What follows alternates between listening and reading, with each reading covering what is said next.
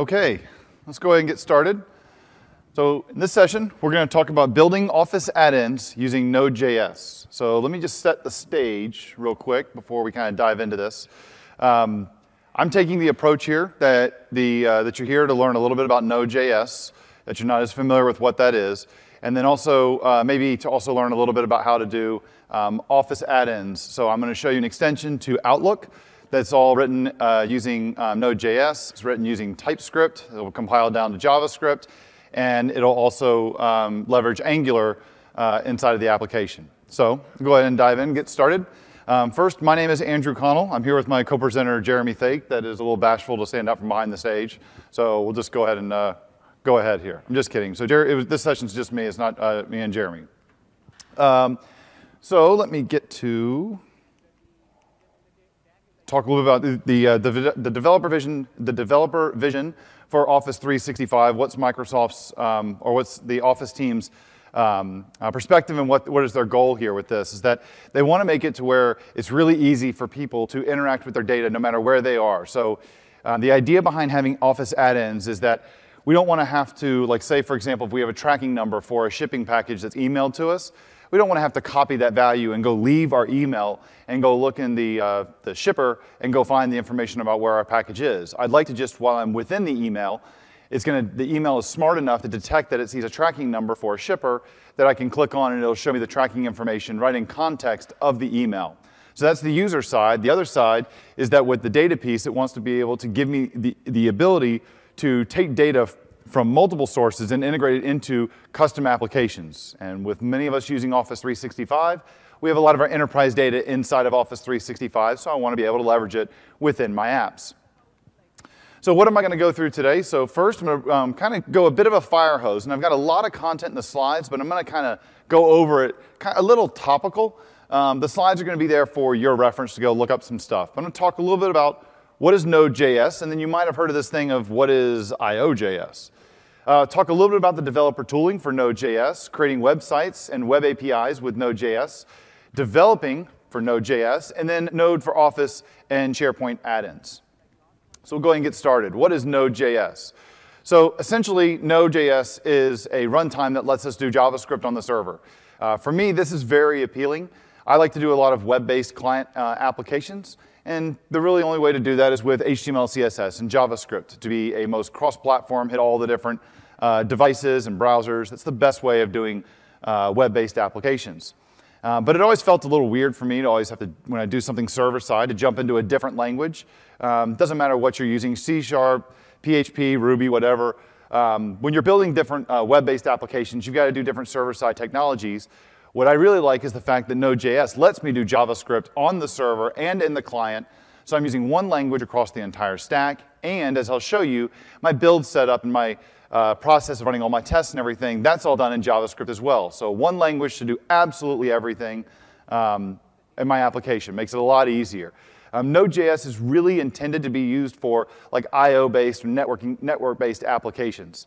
If you've got a lot of like computation that you need to run, like a lot of calculations and analytics and stuff, Node.js or specifically JavaScript, probably not the best thing for you. So what a lot of people are doing is they're building back-end services and exposing that logic through a REST API uh, and then using uh, Node or something like Node to have like the web layer or the API layer that talks to those services and exposes them um, to the calling applications. Node.js is open source. It's managed by a uh, company called uh, Joyent, um, and it's also trademarked by Joyent. And then just recently, we have a thing called the Node.js Foundation. You can learn more about it at nodejs.org.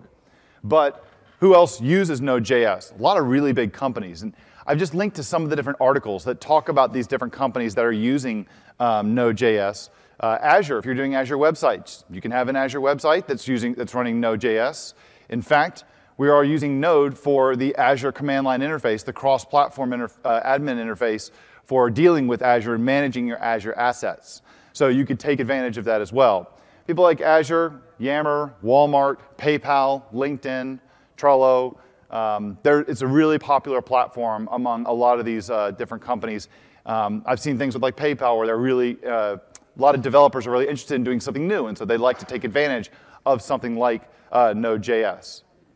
So what makes up Node? Well, Node is the, essentially the runtime, but it's also a bit of a wrapper and an API around something called V8. V8 is Google's uh, JavaScript uh, runtime that we have in the Chrome browser um, or in Chromium. And what Node does is essentially hosts that for, on a server-side implementation. Uh, for those of you .NET developers, we have a thing called NPM. You're familiar with something called NuGet, and that's our package management that we use in the .NET platform. What NPM is, is it's our, it's our package management system for uh, Node.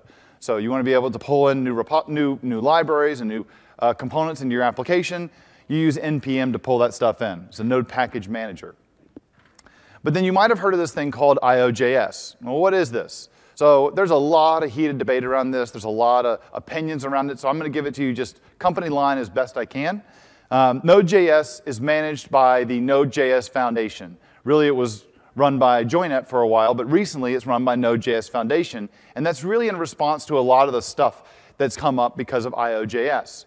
Now, Node.js is currently using, the current version we're on is 0.12.2, unless that's changed in the last few days. And it uses the, the V8 engine 3.28.73. Why is that important? Well, I'll come, to that, I'll come back to that in just a moment. What is IOJS? IOJS is a fork of Node.js. So why did they fork it? Well, in 2014, the con contributions and the release schedule of Node.js really started to slow down quite a bit. Now, why that is, I'm going to leave other people to go through and give their reasons and blame and everything, but the community was getting a little frustrated and wanted to see more innovation and faster innovation and faster releases. So they first created this thing called Node Forward, and then they eventually renamed it to IOJS. And late in 2014, they forked Node.js and said, you know what? We're going to take our ball, we're going to go elsewhere, and we're going to do a lot of work with it. So a lot of the top contributors to Node.js went to IOJS. Um, I've got a link up there where it talks a little bit about some of the frustrations and stuff and some of the articles of why you actually have some stuff out there. The current version is 1.6.4, and it uses the V8 engine 4.1.0.27. Why is that interesting? Well, because the, one, the version that we have of V8 back in Node, the current present version of Node, has some uh, performance issues and a couple bugs that have, that have not been resolved, or in that version, they're not resolved. And it only uses ECMAScript 5, the current version of JavaScript that we generally call JavaScript. But what IOJS has done is they've actually gone through a lot of the backlog with Node.js. They've added a lot of the features and a lot of the bugs and fixed, or not added the bugs, they fixed a lot of the bugs that we had in Node.js. Those things are all fixed and updated in IOJS, and we're using the latest version of V8, or one of the more recent versions of V8, which has, is just a lot more performant than the one that Node.js uses, and it supports ECMAScript 6. So that's a big deal. That's a bit of a big deal if you want to do uh, ES6 style JavaScript on the server. Um, it's also very compatible with NPM. So right now we're kind of going in two different directions. So I have down there on the slide, what will the future uh, hold? There's, there's uh, reconciliation efforts that are trying to go on. Really, it's up to you. Which one do you want to use? It's really up to you. The big guys, like Walmart and those guys, they're using uh, Node.js, right? They're using Node.js. A lot of other people are starting to use IOJS. Um, I think like the Atom editor even uses IOJS. So it's up to you. Just know that those are two things out there. That's the quickest kind of what's the difference between the two. You really can't go wrong which one you choose. All right, so just a little, uh, show you a little bit what I mean here by the contributions. This is a screenshot from GitHub from the uh, contribution activity for Node.js. And I want you to take note of the last section there where it talks about 2014 and 2015. Notice how the activity is starting to kind of decline from previous uh, years. Well, let's flip it over and let's look at IOJS and take a look at that spike on the far right end. This is the exact same graph you saw a second ago because recall it's a fork of Node.js. But what you're seeing is a lot more activity in IOJS over the same period that Node.js was on a decline. And that's because there's a lot more community involvement on that side. So I think the numbers kind of speak for themselves. Where's all the innovation happening? Again, you just make up your mind which one you want to use. I've talked a little bit about this already. What's the appeal of Node.js and IOJS? Again, one language used from server to client, top to bottom. I like that. Same language used in your projects and your ecosystem around all, around all the projects. Um, and what I mean by that is that on the client, I'm doing JavaScript work for my browser to create client-side applications. On the server, I'm using the same language, JavaScript. I can also, and like say if I'm doing a .NET app, if I want to automate my build process, what does Microsoft traditionally use? We use MS Build. How do you define things in MS Build? You do it using tasks. Those tasks are defined using XML. It's more like configuration. But there's diff with uh, different libraries that we have and different build systems we have in the JavaScript world. There's one called Gulp. Um, that is uh, all done using JavaScript. So I define my build engine all using JavaScript. I write my server-side logic using JavaScript. I write my client-side logic using JavaScript. There's an appeal to that. I write all my tests using JavaScript, all the same language. Another thing, too, is it's cross-platform. There's a runtime for Node.js, for Windows, for OS X. It runs also for Linux as well. It runs in Azure websites, Heroku, AWS. Um, I have an Express talk that I'm doing this week. I did one earlier today. I'm going to do it again tomorrow about down in the Office 365 um, Express Talk area, where I'm showing how we're running the exact same applications that I'm showing you today, running it on a Raspberry Pi. No code changes at all. The only change I made was a configuration change on the IP address that that device got from the network. So when I start up the web server, it knows what to listen for. Because as you'll see, we're going to be using, and one of the ones I used, I used Azure AD. He needs to know where to route you back when you have a successful auth. All right, so let's talk about some of the tooling options we have here. In Visual Studio, they have tooling, the Node.js tools for Visual Studio. There's some sessions on that this week at Build. Uh, Microsoft also has Web Matrix. Um, you also saw this week there was an announcement around Visual Studio Code. I'm going to use Visual Studio Code to kind of show off my sample here. Um, it's really appealing. Um, I used to also use WebStorm. That's another tool that's out there, really good JavaScript editor uh, and IDE. Uh, Brackets is a JavaScript editor that's kind of meta in the sense that it's built using JavaScript. So you wrote JavaScript to write an editor to help write more JavaScript. It's a bit meta, right? It's kind of like what would happen if you pulled your eyes out and faced them at each other. What would you see? I don't know. Um, you can use any text editor. It really doesn't matter, okay? That's my point.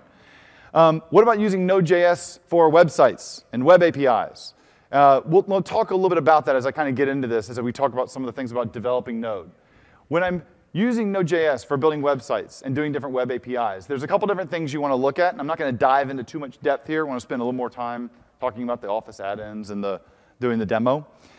Um, here's the way it works. You've got a couple different components. You have a thing called Connect. You have a thing called Express. We all know what MVC is. We do ASP.NET MVC. We can do MVC apps, uh, web apps using Node as well. And we want to be able to use Node to build APIs, like REST APIs. One of the things you'll see about Node is that you basically, when you get the runtime, you get a very bare bones thing. There's not a whole lot to it. You're going to want to go grab a few things pretty quick to start building up your application. But what that means is that while you feel like, ah, I'm doing this, I'm getting Express again to do a web server, ah, it's taking me, I don't, I don't need this. Why do I have to do this every time? Because maybe you don't want to do a web server. Maybe you just want to host RESTful services. You're thinking, well, I do need a web server for that. No, not really. There's a Node package called uh, I think it's Restify, that is only there for hosting RESTful services, make your life easier. So you have to deal with all the other stuff around a web server. What is Connect? Well, the way that Node works is it's a single threaded thing that just kind of every time you're just always going through a loop. And whenever you want to do something that's multi threaded, you have callbacks that you can pass back in. What middleware does is that kind of as you're going through, think about it kind of like a pipeline. As you're going through the entire request stack, you can stick stuff into this pipeline where you want things to run. What Connect is, the stuff that you put inside that pipeline, those things are called middleware. It's just code that's going to run, and you don't go to the next step until that middleware is done. Connect is middleware for Node.js that is essentially helping you do requests and responses uh, over HTTP. It's a very extensible HTTP server framework. You can take advantage using plugins. There's a lot of different plugins that are out there. It's additional middleware for, um, from, uh, for Connect. Um, it's, again, you can think about the middleware or the plugins as like living in this pipeline or living in a stack. Um, each thing is going to get executed one by one. It doesn't go to the next one until that first one is finished. And you call the callback to tell the hoster that, hey, I'm done with this section to go to the next one. You do that inside your own middleware. Um, like exam- for the example here, you see that once I've created my app, so I've at the top there, I've got var app equals connect, and then farther down, I say use slash foo. So when there was a request for foo, I want you to run this code, and I'm passing in a function that's going to get three parameters in a request object, a response object, and a, and a callback, which I called next. I'm going to do all my code, and then I'm going to actually uh, call next when I'm done to go additionally down the pipeline. so I don't stop the process of the web server. What is Express? Well, what Express is, is a minimalist web framework. It's going to be built on top of Connect. It's very unopinionated in the sense that I can use all these different things and mix and match all these different things inside of my application. Um, we write the plumbing code for handling things. When a request comes in, I want you to run this function. I, when, a, um, when, when someone goes to this specific route, I want this to force authentication. I'm going to use a thing called Passport which is the very popular way of doing authentication in Node, to uh, uh, handle different authentication models. There's Passport, there's Passport for OAuth, then there's Azure, um, the Azure AD has a model also for um, extending off of the OAuth support that we have uh, in Passport. When I said it was extensible, I really meant it in the sense that I have multiple choices for different MVC framework options. And this is a list of a bunch of the different options. Now, this is very much like a religious war to me in the sense that um, by default it seems that what everybody uses is Jade. Um, I wasn't too much of a, I'm not too much of a fan of Jade because I feel like I'm writing like funky HTML and I have to learn a special HTML language. That's not really my style. Um, so it's a unique kind of HTML shorthand and eh, it's up to you if you want to do that. Another one is EJS. You can think of that as embedded JavaScript and it's kind of like saying I'm putting JavaScript inside of HTML or HTML inside of JavaScript. That to me feels a little weird. Another one is Vash.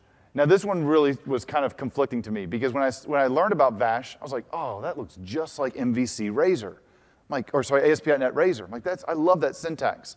I started using it, but then I found that I thought that I was like the only person that was using it aside from the guy that was authoring it.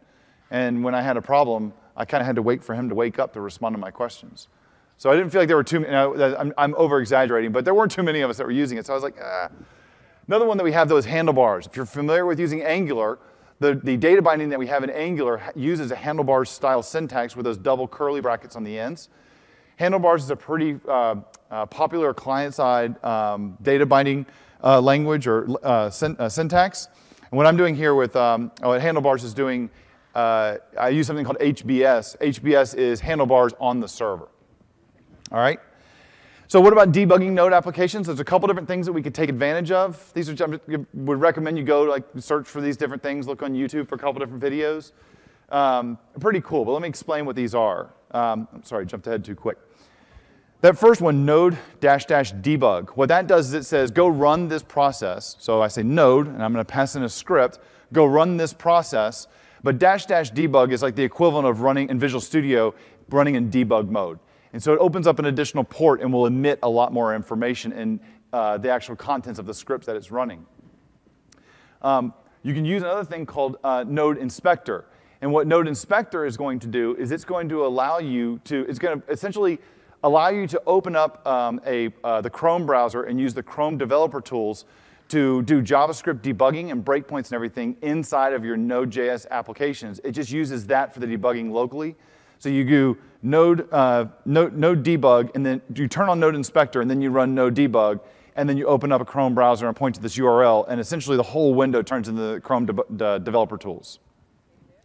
NodeMon is very useful. What NodeMon does is that every time you make a change to your JavaScript files in the source and the server, while your web server is running, well, it's not going to pick up those, those changes because when the web server started, it compiled everything and everything's running in, is going to run in memory or when the requests come in.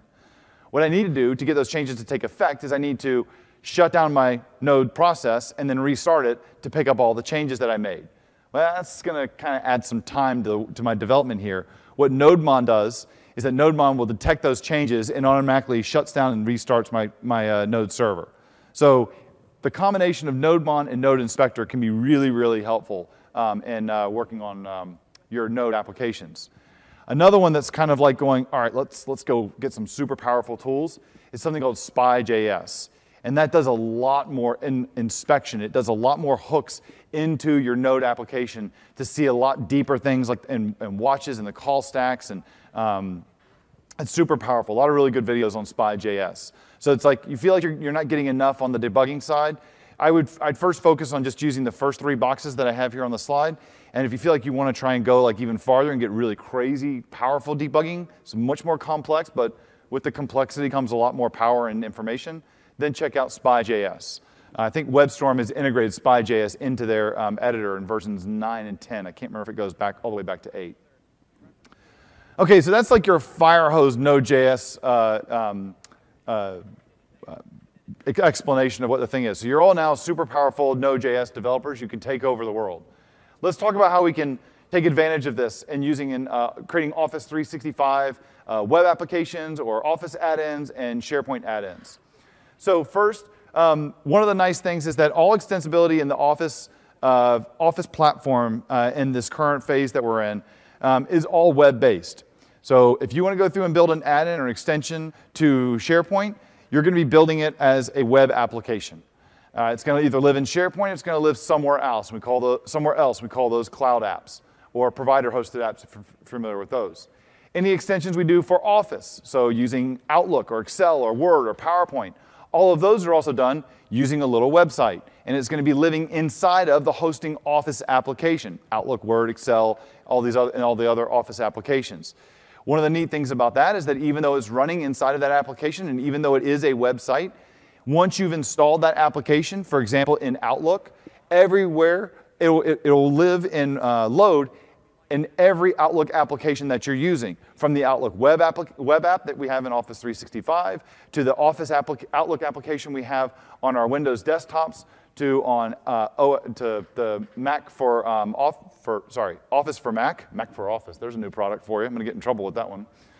Um, I'll trademark that real quick. Um, and uh, uh, we also have Office running on the iPad uh, Microsoft is, is releasing, is, is, is uh, still in the release phase of getting it full parity across the, all the different um, clients that we have um, uh, where Office exists to have support for apps. But because they're web applications, they will run in all these different places, all right?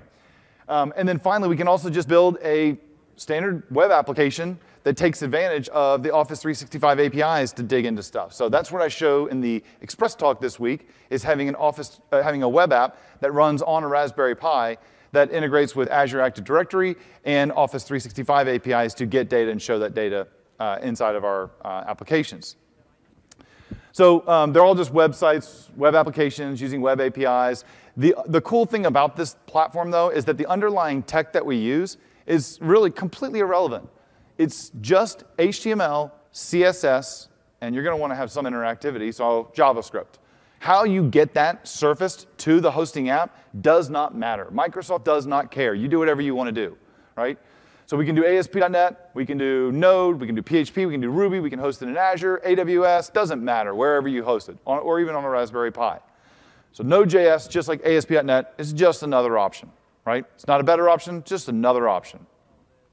So a couple things you want to consider if, you, if you're interested in getting into Node.js and doing development with Office. So first of all, there are no wizards. There are no, I don't mean like the pointy hat guys with the cane. I mean, but there's like no wizards that we have in the editors. In Visual Studio, there's really nothing there that's going to help us so much with the, if we're doing a node-based uh, web application uh, in Visual Studio. We're not going to be able to do things like the connected service stuff. It's not going to add all the code for us in the, the uh, NuGet packages because we're not doing NuGet packages. We're doing NPM and using Node Package Manager. The creation of the Azure AD application, you're going to do that through the Azure portal. You're going to do that through the management portal. You're not going to do that through Visual Studio, right? Um, you don't have any SDKs that are really there for you. Now, that's kind of true and that's kind of not true because guys at Microsoft, you see, are actually posting some Node packages to the NPM registry that are kind of wrapping some of the different APIs we have for the Office 365 APIs. I'm working on a couple as well that I'll be publishing up there as well. It's all community kind of driven. Um, I'm not aware of any effort by Microsoft at the moment that's con uh, concentrated building out like SDKs or the node packages uh, for the Office 365 APIs, but they're REST APIs. You don't need SDKs. You can do whatever you want with these things. The authentication flow, well, if it's all client side, then you, in one sense, you don't need it. So what I'm going to show you with the, with, um, the Outlook app at the end, um, I don't need uh, to worry about authentication in, in, in the one that I'm doing. But if I did need to worry about it, then we have a couple different options. So if it's all client side, I can use Azure AD's support for the OAuth implicit flow and the relatively new library that they have called ADAL.js. Uh, I'm going to show that in my session tomorrow when we talk about TypeScript and Angular uh, for um, for uh, uh, Office 365 apps. Um, that's really cool because that means that I don't have to do anything server side to be able to um, protect the access token. Another thing that we have though, if I'm doing server side uh, style stuff, then I can use ADAL, the ADAL.js uh, library for Node. So there's one ADAL, I think it's just called Node-ADAL is the name of the NPM package. That's the one that I'm using in the Raspberry Pi uh, website, or the Node.js website that I ran on the Raspberry Pi in the Express talk. So let me, let's, before we uh, go any further here, why don't we just uh, take some time and just start looking at a couple demos here. So we got plenty of time, so let me go ahead and switch over. Now, all the demos that I'm gonna show you here, first thing to show you is this repository. And I'll have a link to this at the end of the slides, or you can jot it down now. Um, it's just github.com slash Andrew Connell slash pres dash 0365 dash node. And what you'll see in there are two different uh, folders. So if I just kind of zoom in real quick, there's two folders. Okay, I lied, there's three, but don't worry about the, the first one. That doesn't have any code in it. Um, that's got two different projects in there. One's Node 0365 Web, now, if you're interested and you've been seeing the stuff that I did at the Express Talk, that's the project that's coming from the Express Talk, okay? The other one, the Office add-in Outlook, that's the one that I'm gonna show, we're gonna focus on in this session, okay? That's all done using TypeScript. Both of these are done using TypeScript. Um, now, I do a lot of this, I'm doing all my development here uh, on, uh, on, a, on a Mac. Uh, so I'm on OS X, and I'll tell you one thing that I've learned really quick about this. And there's one thing that Visual Studio does for you as a developer that you don't really appreciate it until you try to do the same thing on OSX. And you're like, oh my! You know when you the first time you install Visual Studio, and you build a website, and you want to you say that website has to be HTTPS, so you get HTTPS localhost, whatever the port is, and you hit F5 if you think way back when you first built that machine and the first time you ran Visual Studio to do that, it said, hey, you don't have a self-signed cert. Do you want me to go ahead and create a self-signed cert and trust it on this, on this uh, machine? Do you guys remember that far back? Yeah, and then you just clicked yes. Oh my God, that yes check, that yes button, you have no idea what that thing does for you when I'm sitting here on OS X. It is a royal pain to go through and to create a self-signed cert and to get it trusted and everything on a Mac. So if you're on OS X, there's this uh, file here that I explain. Here's all the stuff you have to do. It's, it's great. I mean, it's, it's almost, it's absolute lunacy in the sense that uh, there's a part here where it says, in the, after the dialog comes up, click always trust, and then after it gets added to the system chain, open it up again, and then say always trust it again, because the first time didn't really always trust it. Yeah, I know. It's like the first time, like going, no, no, no, we really want you to trust it. So you got to tell me you got to trust it twice. Like, what is this? Is there a special handshake on this machine? So, anyway, that's where the code is. You guys can go grab that code and take a look at it. Now, before we kind of dive into this, let's go run the app so you can see what this thing does. So I'm going to come over here. I'm going to go into my um, go into my terminal, and I'm going to go ahead and start up my server. So I'm just going to say uh, ss dash dash port 8000. Nope, that's not the right one. Is that right one? Wait, that's not right. I just blanked. I think it's node src server server.js. You just saw my demo for tomorrow. All right, so now we got a, a, website. Our website is now running here on HTTPS colon slash slash some uh, port uh, colon 8843. So that's my secure port. So what I'm going to do is I'm going to come over here and I'm going to um, go into my Outlook Web Access. So or my Outlook web app. So I'm going to come over here, I'm going to log in.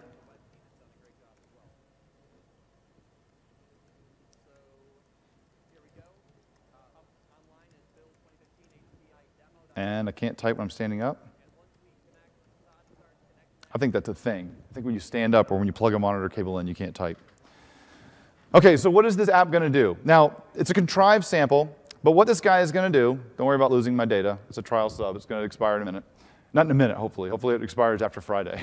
Um, but what this app is going to do is that I want to be able to find potential customers in an email. And so my rudimentary logic says, let's look at all the text in the body of the email. And when we find a word that is surrounded by spaces and it starts with a capital letter, then we think that might be someone's last name. So let's take that and let's go query our CRM system and find that user in, the, in our CRM system all right? And if we find that user, then let's, if we find somebody, if we, or sorry, let me back up. If we find words that could be last names, then we'll activate our Outlook add-in as an option. And if, it, if I click on it, it'll open up, take all those candidates, send them to a Node.js uh, REST API, or a REST API implemented in Node.js. that will then call some other web service or go look up in my CRM system to see, hey, can this, uh, is this person uh, one of our customers? So for example, if I come over here, I click on my order request, there's the body of the email, and you saw it took a second, but that little gray box popped up that said customer lookup. So I'm looking through all this Lipsum Aurum stuff, and it said, you know what, there might be a last name in here. So when I click on this, what's going to happen is it's going to take all those words and send them back to that web server that's running on my local machine here, and it found one match. So if I come over here and I look at over here in the, in the console or in the, in the terminal, you can see that it says I'm executing a query and it's running off to services.odata.org. So what I'm doing is I'm using this endpoint here. You're wondering, well, where does Node.js come into this? So I'm using the public service uh, sample service at the, at the odata.org website uh, for Northwind to go look up different customers. Look at that endpoint. That's HTTP. All right? Now, what I would really like to do is instead of going back to the server to go call that web service, I'd rather just go straight to that web service from Outlook, right?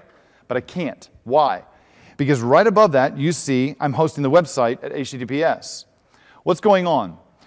Every add-in that you use in Office, every Office add-in is a website. And Office will only load add-ins from an HTTPS endpoint. If that website that I loaded from, HTTP, from HTTPS tried to make a cross-domain call to an HTTP endpoint, every single browser in the world is going to say, no, you can't do that. That's an unsecure, dangerous kind of a thing. We're not going to let you, we're not going to let you shoot your feet off. We're going to put a safety on the gun. So I had to come up with a way to say, well, how do I call this open service? And I just said, well, then let's just make my own little web server that's got a REST API that's going to call that thing for us. It's demo code. Don't shoot me here, okay? But if you think about it, you wouldn't be calling it like this. You'd probably be talking to Salesforce, or you'd be talking to Dynamics, or some other CRM or line of business app. It's just an example, all right? So I'm making a call, and you see it's looking at all these different things. It even thought that Arial is that was somebody's name, which it actually is, but Helvetica I don't think is somebody's name. Um, it's because this email that I sent is actually an HTML uh, email, so even Calibri's in there too. But Calibri's pretty cool. You go out and have a few drinks with her. She's very nice. She tells some great jokes. Come back over here to this one. We'll look at, if I, I open this guy up, what I'm doing here, this is actually a node, a, sorry, a, uh, an Angular um, application that's running on my machine, on my laptop. And when I click on this guy, shows me the details of Pascal. If I come over here to this other person, I've got three people that I've listed. John Doe is not listed in the Northwind service, but you can see it actually went out and found these other two people. And when I click on them, I find them, jump back to the customer list, click on them, go back, see, there, see them as well. So this Angular application uses something called Material Design, which is the design language, which is the Google design language that there's a whole Angular piece to it as well. So you've seen the app, kind of pretty easy to understand, right? Let's see the code. How do we actually do this? So let's kill this guy off. Well, not Maria. We don't want to kill Maria. She's cool too. And let me switch over to the code here. And yeah, web server stopped. Okay. So I'm going to show this to you using Visual Studio Code, the new editor that uh, Microsoft announced in the keynote this week. So how does this thing work? Well, let me just give you kind of a little bit of a tour of what the source looks like. This is the entire repository that I showed you in GitHub just a minute ago. So there's some stuff down here. There's the README we saw a minute ago. There's the self-signed cert stuff. You see I've got a couple of the keys listed right here.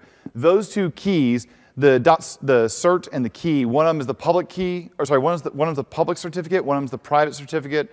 One of them is used by my application. One of them is trusted by my, uh, my browser and my uh, MacBook here uh, so that everything's nice and secure so that it knows that it will trust um, requests coming from this certificate or from this site. I then have all these different tooling things in here. This is, a lot of this is typescripting stuff. Um, we're not going to really dive into all that, but just know that you've got a sample here that shows you how to use uh, the libraries DefinitelyTyped uh, for TypeScript to have strong typing. There's other sessions that talk about TypeScript this week. Um, the gulp file, I use that to compile all my TypeScript down to JavaScript, to run my tests, to do linting against my TypeScript to make sure that the code is in good style and I'm doing things like having spaces between my Lambda expressions and all that. And then um, I also have the, uh, the standard bower.json to get client packages into my application and package.json to get all of my NPM packages in. Okay, that's all fine and good. Let's look at the application. So the application is boxed up inside of this source folder. So there's app, there's public, and there's server. So server is the server-side component of my application. And if I go look at the, the TypeScript for this guy, let's look at what this looks like. Now, this is going to be creating the Express web app, okay? The, the, Express web application. So I'm importing a few things here. You can think of those as um, uh, like using statements in like ASP.NET or in any standard C sharp file. And then I'm coming in and also doing, uh, uh, requiring a couple extra pieces here. So like HBS is the handlebars uh, view engine.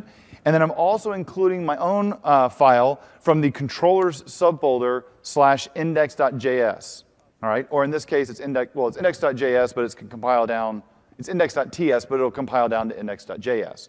Node will only be looking at the JS files. The editors are only looking at the TypeScript files.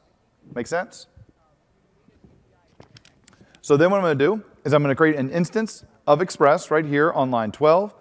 I'm then going to go through and I'm going to set, I'm going to register the different partials, which what that does is it says, where are all of your views stored for your MVC style views? I put them in the views subfolder because that's kind of how they do it in ASP.NET MVC, so it's familiar, right?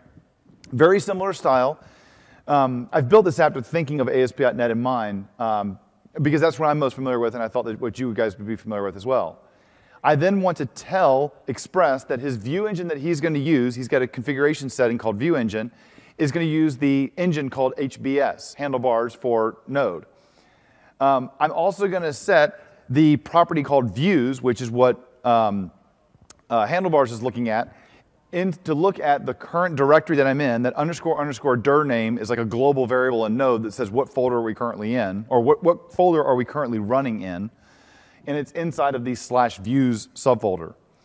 I'm then going to set up a couple static routes. So whenever you see something that goes to slash public on my website, I want you to go to the static route, go up one level to public. Because remember, we're inside server. Remember over here, if you remember my folder structure, we're inside server. We're running inside of server because that's where server.js is. So when you go to slash public, I want you to go up to this folder right here. So slash public slash content slash app CSS is going to be found up in this folder up here because I just told it that's where I want it to go. I also have over here, I say whenever you go to public slash vendor, I want that to translate to all the Bower components I'm pulling down.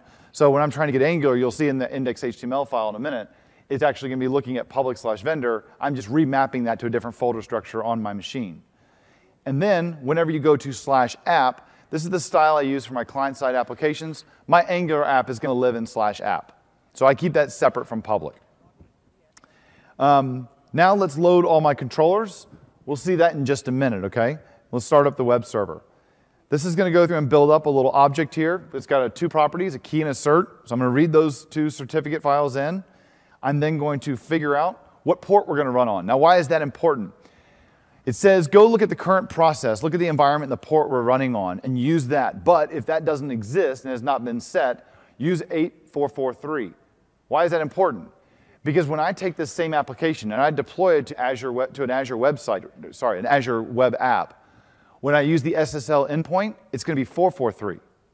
It's going to be defined as 443, and I want my app to default to that. But if I'm going localhost, I'm not setting up an environment variable, so it's going to go to, to this variable I have here, or this number I have here, of port 8443. Next up, I'm going to start the web server using these options, which uh, right here from the different certificate stuff, right up here, those are my options. I'm going to use this Express app that I created to start up the web server, and I'm going to be listening on that port. And then I just wrote out in the code right here, here's what we're listening on. So now we got our web server running. But how does some stuff actually work inside of Node? Well, if I come over here, and if I look at the, um, uh, one thing I mentioned a second ago is I said we initialized all the controllers. So I need to tell it, just like I did up here for all my static routes, I need to tell it what are all my dynamic routes that I'm going to be listening to. So you know in ASP.NET uh, MVC, we have that uh, configuration file where we define all of our routes and we can do like wildcards and all that stuff. I could do that same thing here. But for simplicity, I've set up some explicit routes. I tried to mute that, I'm sorry. Um, so what I have here is a controller factory. And you're seeing a lot of files over there on the left-hand side. It's because they're the TypeScript files that we can compile down to JavaScript, and then they have a map file in there. And actually, let me clean that up. I got a, I got a good little, um, let's see, we got gulp, clean, ts. All right, so I cleaned it up, come over here, and then we just, it just deleted all the JavaScript stuff that was created. So we need, I don't need to worry about that right now. We're not going to rerun the app. So if you recall, I have this controller factory. And where did I get that? Well, that was coming from right up here on line 9 when I required or I pulled in controller slash index. So that's going to go through and create an instance here of controllers that's got a function called init on it. That's going to be grabbing this file right here, index.ts. And so here, this is all TypeScript. I'm creating a class. That class has a constructor. I've passed in the Express app, but I'm not doing anything with it in the constructor. He's got a function there called init. So what init is going to do is he's going to go create instances of the home controller and of the API controller. So here you see I've got those two references at the top. What's the home controller doing? The home controller is just creating essentially the home page for the application. What happens when you go to slash? So on line 16, it says when you go to the root of the application, I'm going to pass in a request object using TypeScript. I said that this is of type express.request. I'm doing that using the DefinitelyTyped definitions that we can get in TypeScript to um, cast that dot request to get much more intelligence around it. Um, and then I have uh, also passing in a response. And then again, using TypeScript, I'm using a Lambda expression here instead of using the function notation and saying, when you get a request for the root of the website, I want you to render home slash index. And that's very similar inside of ASP.NET control, ASP.NET MVC controllers, where you just say view and you put the name of the view and it figures out what controller you're in and the subfolders and how they work. Here, I've explicitly said that I want you to grab the view that's in home slash index. So I go to views, home, and then index.hbs. This is my handlebars piece. Now here, there's nothing fancy in here. All this is doing is it's loading in all the stuff for my Angular application. So there's the Angular um, app that you see there on lines four and five, creating the module.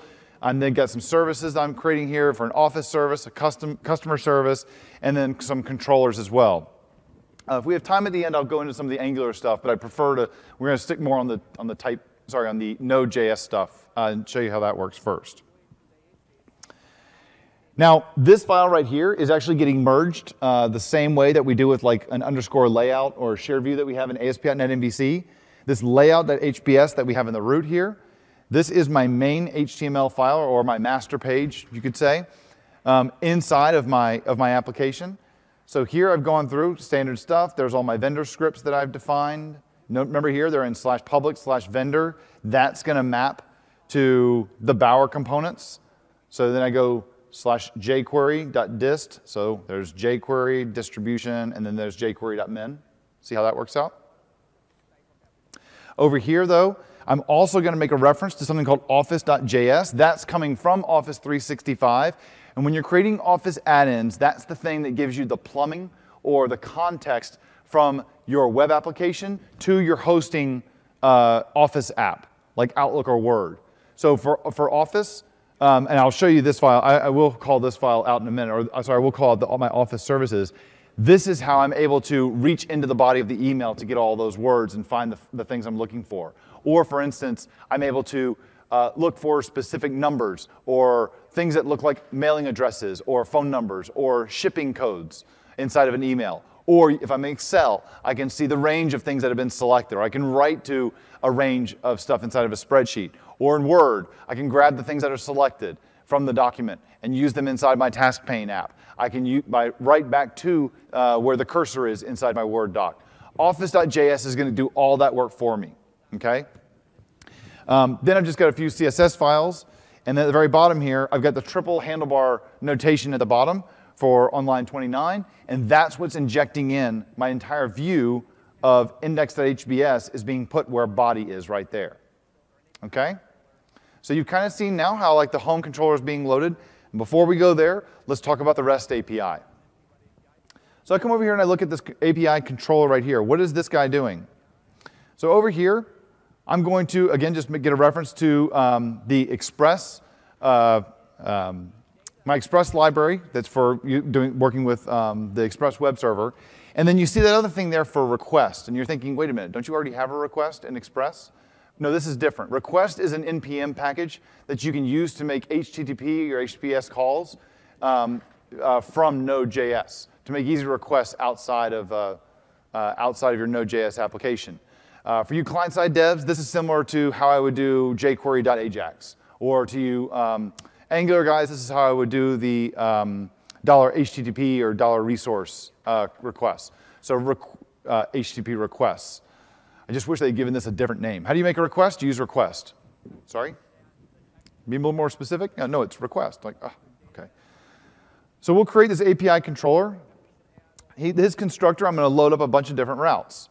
So down here, I have a couple different routes that I've defined. I have a route for slash API. Listen for the request slash API slash customers, and when you get that, I want you to call the function on this, on this class called qu underscore query customers. What about if I want to look them up by a specific name or by a specific ID? I can pass those things in. And notice at the very end of those different um, uh, paths or routes that I've defined on lines 19 and 20, I actually have a little variable that I've defined at the end of that request. I have a colon in front of it looking for one called customer names or customer ID. If I scroll down a little bit farther here, here's the, here's the handler for querying customers. Now I've called this the, um, the two variables that are being passed in is exp request for expresses request because we already have a thing on the page defined at, or on the file defined as request. That's the thing that's going to make the HTTP calls for me. Here what I'm doing, creating a reference to my endpoint over to my Northwind service over in the odata.org site. I'm then going to create an options object using TypeScript. I'm typecasting that so that I can, or typing that so that I, I know that I've got a method property, I've got a, a headers object that I can define. And then a little bit farther down, I'm going to issue my request. So I can say request, I pass in the endpoint. Here are the options I want to use. When you're done with that request, I'm using a little bit of TypeScript notation there. You're going to get an error object, a response object, and a body object. Pass those into the next function using that lambda expression. I'm going to write out to the console the body of the request that I'm, that I'm um, uh, making the request to. Sorry, on line 37, I write out the URL that we're making the request to. And on line 39, I'm writing out the response that I got back. And then ex response dot send is essentially saying, OK, Express, send this back to the requester for this endpoint. Don't send HTML. Don't send, don't route them to some view that I'm using handlebars for send them the entire body of the thing that they requested. And I'm just passing back what I got back from the Northwind service. That's not so bad, right? It's pretty straightforward. It's JavaScript. You got to get used to that kind of piece to it. It's, this is specifically as TypeScript. I personally am a big fan of TypeScript because I've been a server-side guy for a long time. Um, I wouldn't say I'm a JavaScript developer per se. I per se I'm more of somebody who's been hacking my way through JavaScript for the last decade, right? How many of you feel like that? Usually ask that question to standard like .NET developers. It's like, how many of you are JavaScript developers? Like, eh, yeah, I'm a JavaScript developer. It's like, how many of you have just been like me and you've just been hacking your way through it for the last 10 years? And like 90% of the rooms like going, okay, that was me, sorry. I saw some cool site that had a cool drop down. I review source, grabbed their JavaScript library, got it working on my site. Every once in a while, these things show up in the console that were errors. I loaded up with a bunch of alerts and figured it out, right? You people laugh. You've done that. Everyone's done that. Use console.log. Don't use alerts. And like, oh, I know I'm supposed to. Alerts work. Anyway, um, next thing here, we've got uh, just another request. This is another one of our endpoints. Query the customer by name. In this way here, I'm just building up a special request. You can see there on lines 50 through 56, I'm building a filter, um, an OData filter, standard filter request, where I'm passing in different customer names. And I'm just doing if, if it's this guy or this guy or this guy or this guy, or girl or girl or girl, gal, I guess. And then I'm just making another request. Same thing down here, filtering it by a specific ID. And that's the Node app. That's it. Doesn't look that bad, does it? The hard part that I found for this and doing this when I was first getting into this was um, honestly first the hardest part about this entire thing was getting the HTTPS, uh, getting hosting an HTTPS web server um, from Mac and or from a, a, a MacBook and um, uh, and making sure that the web app, uh, my, my browser or my, my application would trust the certificate that came back. Because if it wouldn't trust the cert, it would load the page inside of Outlook. That was the hardest part of this. The rest of it, it's not that hard biting off these different things. You got an endpoint, you've basically now seen everything that you need to be able to do. You know how to render a view, you know how to do a little bit of logic. I could have, when I did, um, where is it? If I come over here and do under, where's my home controller? right here on, when, I, when I rendered out the, the home view, see where that comment is where it says a model would go here? If I pass back some object on this, I could have said something along the lines of um, like page title is Hi, Mom. I'm at Build. She has no idea what that is, but she, she's like, Oh, I'm so happy for you. Um, seriously, that was Facebook this morning. You're presenting at Build. That's cool. What is it? I don't really know. Are you actually like creating things? I'm like, No, just like videos. but I'm not doing that. Um, so I pass that back, and over here in the view, if I wanted to display that, I'd say something like throw an H1 up here and then say uh, page title like that. And that's how I go through and bind that, bind that object there because the, now the page, this page is bound to that, to that model, that view model that I passed back in that object. And so it binds it like that. So you've seen how to do data binding with views. You've seen how to actually render back the views. You've seen how to do a REST API or how to uh, host different APIs, how to make calls out. That's Node.js for you. That's, that's it. That's all you're really going to have to do to be able to build these different applications. Um, the other piece to this, and because I have a little bit of extra time, uh, and then if anybody has any questions, I can open up for questions. Um, there is one little thing here that you, I ran into um, because I was using Angular to host the application. I, really, I love Angular makes it really easy to build uh, client-side web apps. Um, if you're familiar, if you're not familiar with Angular, you're going to be a bit lost on what I'm about to talk about here. So I'll do my best to explain what's going on. Inside of an Angular app, you are generally going, you, you create an Angular application, and then that's going to be bound to a certain part of the page. And generally, we bind it to the body of the page. So basically saying it's a single page app, and it's going to take over the entire page. So I bind it there. So you would normally see on that body tag uh, you normally see a directive that looks something like data-ng-app equals app. Check out that cool IntelliSense from the Visual Studio Code. That's pretty cool. Um, no, I, yeah, I won't go there. Anyway, so there's app, so it's binding to app right there. Inside of your Angular application, you would norm, you create an app right here. So I called this app Outlook app. Usually I would have done that and everything would have just been fine. So would, this would have been called, in the sample I just gave you, I just said app. So what that would have done now is that that would have created, that would have created the Angular app and it would have bound it to that part of the body. But Angular and Office.js kind of have something going on like this. Don't really know what's going on here, but it's okay. It's not that big of a deal. The way you get around it is that instead of on that file that you just saw me do this piece to, there's a reason why I have an ID called container on my body tag. It's because what I did is at, once I've gone through and I've created my Angular application, I do some configuration, I then have to bootstrap Angular.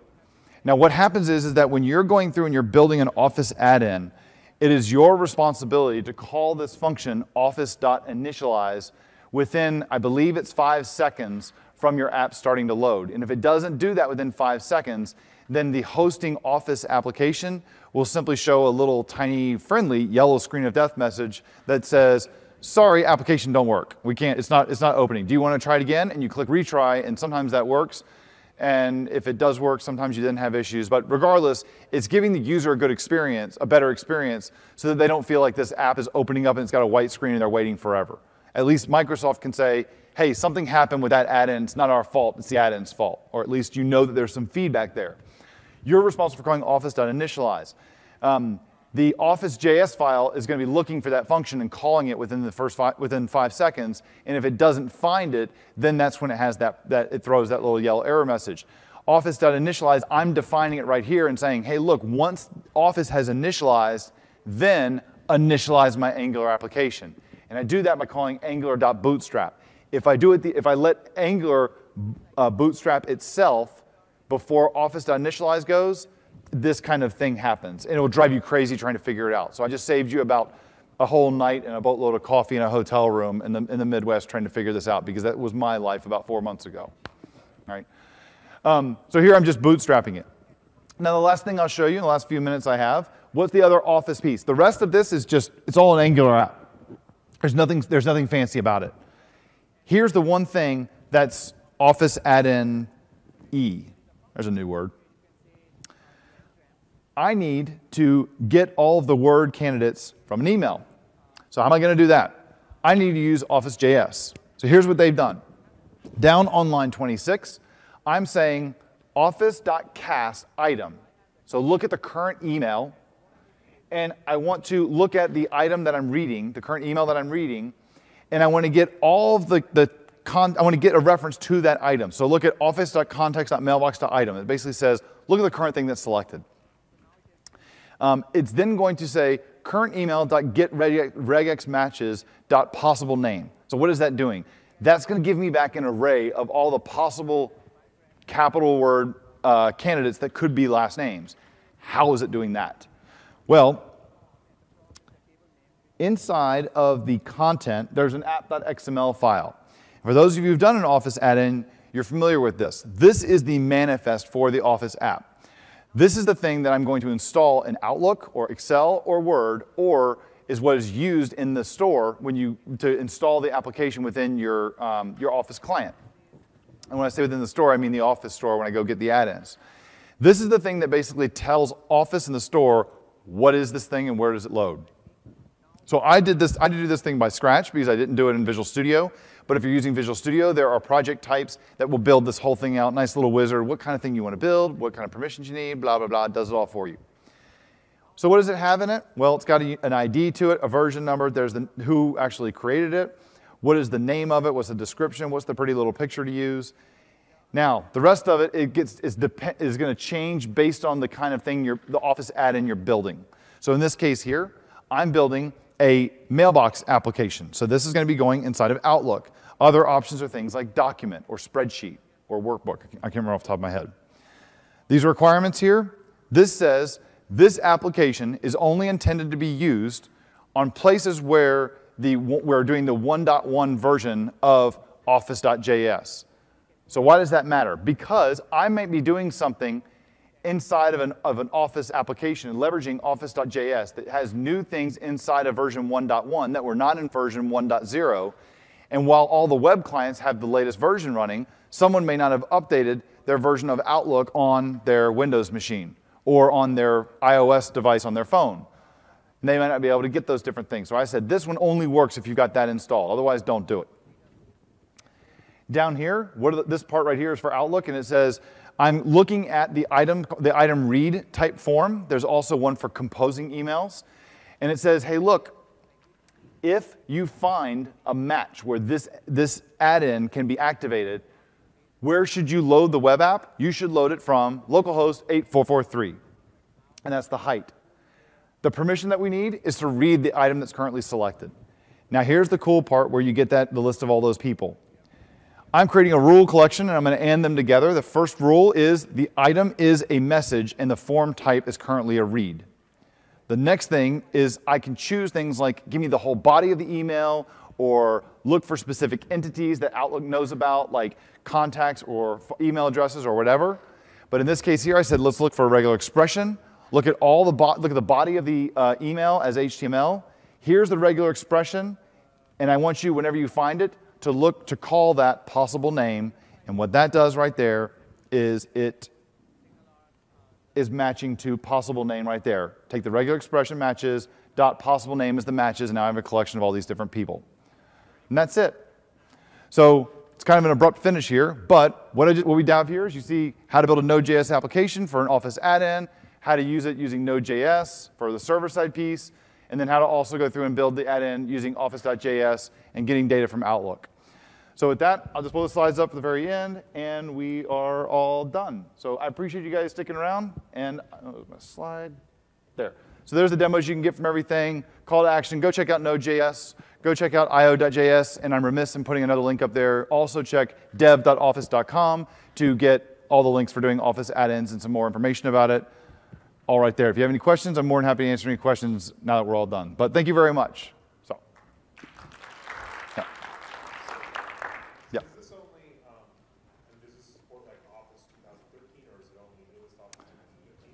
So good question. So the question was, does this only support Office 2013? This Office add-in model of um, where everything's like a web app. So the old model we had was VSTO. This model is Office 2013. So Office 2013, uh, um, Office 365, um, the Office apps for iPad for, or for iOS, uh, for Android, and for um, uh, also the Office I'm going to get the name wrong, Office for Mac 2016, Office 2013 for Mac, 2016 for Mac, something like that. Now, with that being said, the add-in support is not in every single client in every single platform. So web is kind of like the first big web and Windows and Win32 are the two big ones that you're going to see uh, have support across the board. Um, the one they announced the keynote is um, add-ins for Excel on the iPad. Um, and then there are there was uh, another one for uh, apps for running an Outlook on the Mac. Um, but what they're doing is they're really trying to focus and make sure that they have a consistent experience across all of them. So you're not seeing like stuff kind of rushed out, but it's a high priority for them to push them out to where apps, all this model is running on all the different clients that they have, and they're moving at a pretty quick pace. There's a, there was a session yesterday, the developer keynote for um, Office 365, where there was a good matrix that was shown that shows where they are, how soon they are, how close things are, and all that.